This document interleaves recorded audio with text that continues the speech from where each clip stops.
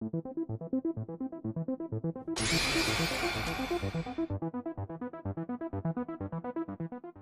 there guys, welcome back to another Nikke video. Today we're going to be talking about the new skin for Drake. Her skin actually looks amazing, I'm not going to lie. I like the aesthetic, uh, luxurious. For sure she has an awesome car added too and, and obviously they added a few lines. That My only problem with this event is that I was hoping they change it around.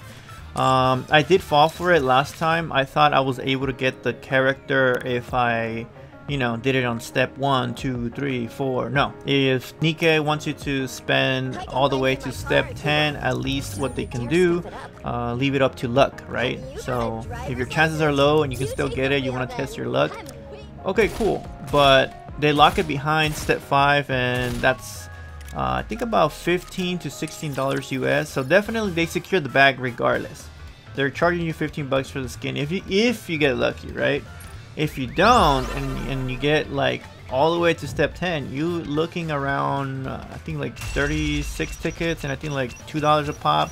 You're looking around like, I don't know, 65 or $70 with taxes, US dollars, uh, for the skin going all the way to step 10. So again, I don't know. Um, maybe perhaps this is like a exclusive for uh, big spenders in the game. Like I said, I think if they were to change the thing around to where like you can get it from, I don't know, maybe not the first step, but the second step on, then at least you have a chance to get it and it seems a little bit more fair even though the chance will be small. Again, this is not like uh, to bash the game, but just criticism just so we can uh, get a better experience out of it. So hopefully you take this with a grain of salt and you didn't take it like uh, in a bad way. So that's it.